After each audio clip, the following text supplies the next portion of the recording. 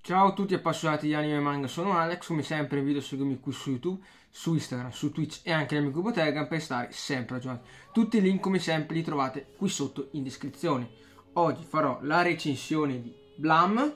eh, questa è la Master Edition, edita da Panini, eh, prezzo 18 euro a volume, è uscito il cofanetto completo 108 euro. Eh, ovviamente il calcolo giusto, avete il cofanetto in omaggio, formato molto molto grande, formato stesso di Akira, la nuova edizione, eh, esattamente come Akira, è genere cyberpunk, eh, qualcosina ci vedi di eh, Akira soprattutto come ambientazione stile disegno, dove abbiamo questo protagonista Killy, che è una semi-umano, una specie di umano creato da uh, Netspear, questa rete informatica che appunto il suo compito di Killy è trovare degli umani con dei geni che sono in grado di controllare Net, eh, Netsphere, questa rete, eh, questa rete che hanno i geni del controllo di rete e appunto riuscire a fermare la crescita indiscriminata della città eh, de- della metropoli, questa metropoli divisa su vari livelli sotterranei che sono infiniti sia in altezza che in profondità e i vari livelli sono eh, divisi davvero con delle strutture giganti che impediscono l'accesso tra un livello e l'altro però eh, è davvero un mondo quasi immenso eh, città futuristiche eh, ma disabitate completamente dove gli unici esseri che eh, ci vivono sono degli esseri fatti di silicio che a loro volta cercano eh, questo uh, essere umano col gene uh, di controllo di rete per appunto per entrare nel Netsphere e controllare a loro volta. Uh, questa città che per appunto dicevo si cresce, si evolve incon- indistintamente, incontrollatamente eh, con delle macchine che costruiscono in continuazione sempre di più la città sem- senza quasi avere un vero motivo per farlo, anzi senza un motivo per farlo, senza quasi uno schema logico neanche, costruiscono, riparano in continuazione e solo per appunto questi umani sono in grado di controllare eh, questa rete, queste macchine. Ovviamente c'è anche la Safeguard, Safeguard che è un'unità eh, assolutamente costruita e gestita da, dallo stesso NetSphere, che è praticamente un po' come l'internet, un'intelligenza artificiale, che eh, uccide e distrugge chiunque che non sia un umano con il gene qua di controllo, che sono i suoi unici padroni che riconosce. E quindi qua praticamente ogni essere è tuo nemico, ogni essere che si muove è potenzialmente letale. Eh, Killy ha una pistola a raggi gravitazionali che è davvero devastante, è un'arma di distruzione di massa contenuta in una mano, infatti tutte le volte che spara il rinculo è talmente potente che lo rimbalza indietro. Killy, ma quasi tutti eh, gli esseri che troviamo all'interno del manga sono quasi immortali, quasi indistruttibili, un po' la Matrix, la, la loro memoria si può togliere e accumulare e permetterla e ricostruire eh, l'entità se dovessi essere morto per ricostruire con un altro corpo, però hai tutti i ricordi del tuo vecchio corpo. Eh, poi hai comunque dei link che ti escono dal corpo per collegarti ad altro, eh, un po' come in Eden, si vede parecchio anche in Eden sta cosa. Eh, esseri con dei tubi strani che escono, che non si sa bene cosa servano, però che possono collegarti a un altro essere e guardare i suoi ricordi oppure assumere il controllo di quell'essere. Eh, Killy è l'unico, no? incontrerà un'alleata, Cibo, eh, Shibo, anzi si dovrebbe pronunciare Shibo, scritto Cibo ma si pronuncia Shibo, e per l'appunto eh, che è un'umana, però non col gene, perché sono davvero molto rari, non si sa chi trovano, però ha una dote particolare che riesce comunque a comandare per,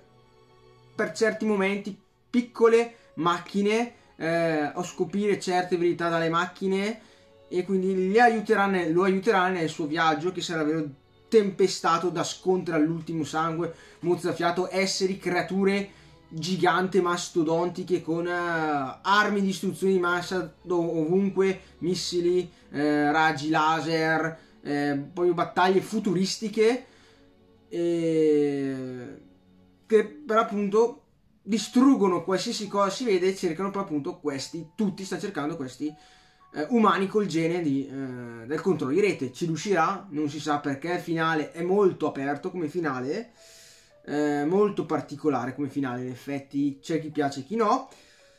eh, però è un'opera davvero mastodontica proprio perché eh, per i disegni che ci sono eh, per il concetto così futuristico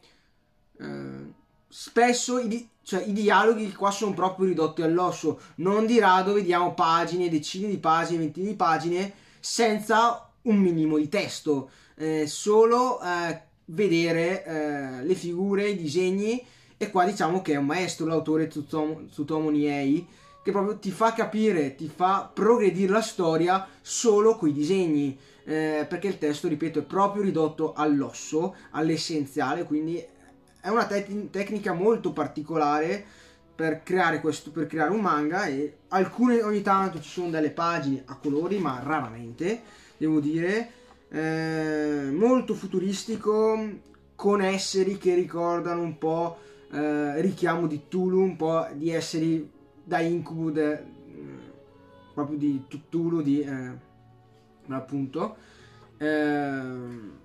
e quindi davvero quasi alieni, ecco creature quasi alieni, esseri di silicio, metà eh, esseri, fis- eh, esseri di carne, metà macchine eh, un miscuglio di umanoidi, cyborg, eh, degli insetti giganti che sembrano quasi alieni, che divorano le strutture metalliche. Eh, davvero è un manga molto intenso, con molta azione, eh, davvero passa da un momento all'altro, una scena all'altra il ritmo è, ca- è, incalzante di questo manga, davvero non è un momento di respiro come, ste- come gli stessi protagonisti che na- non hanno proprio un momento di pace per dire ok, oh, finalmente mi riposo. Ragioniamo un po' sul da farsi, proprio non c'è un momento di tregua, un momento di pace, sempre un passo alla morte, eh, pezzi di arti che volano di qua e di là, anche eh, esplosioni di teste che però ti crescono eh, un po' alla Netflix, ecco, eh, cioè la Netflix, alla Matrix, ecco scusate, non Netflix, e davvero eh, qualcosa di molto futuristico, poi appunto il genere cyberpunk, e faccio vedere giusto qua i disegni, qualche disegni davvero che ti colpiscono e alcune scene sono anche confusionarie cioè scene davvero belle piene che non sai neanche, do- neanche tu dove guardare su cosa focalizzarti perché davvero eh, sono tavole davvero belle piene che passano eh, da un'azione all'altra in modo repentino. E ripeto non c'è momento di respiro a leggere Blam. E, e davvero secondo me è un ottimo manga, lo consiglio molto, soprattutto se vi piace questo genere, se vi è piaciuto Akira o se vi è piaciuto Eden, ve lo stra stra consiglio. Eh, è molto fantascientifico, eh, ovviamente ma poi appunto questa particolarità che mi ha colpito che è poco testo, cioè, ripeto, ridotte all'essenziale. Già all'inizio del primo volume ci sono state 10, 15, 20 pagine senza testo. Eh, proprio è uno scorrimento molto molto veloce e città davvero futuristiche. Eh, la storia mh, interessante, intrigante, ma secondo me non è proprio eh, la parte fondamentale di questo manga, la parte più bella, è proprio nei disegni, nel saper raccontare la storia solo coi disegni. Eh, è davvero stato un maestro in questo, e super apprezzato direi. Fatemi sapere qui sotto nei commenti cosa ne pensate, se l'avete letto, se volete recuperarlo. Eh, noi ci vediamo ai prossimi video, mi raccomando attivate la campanellina e iscrivetevi.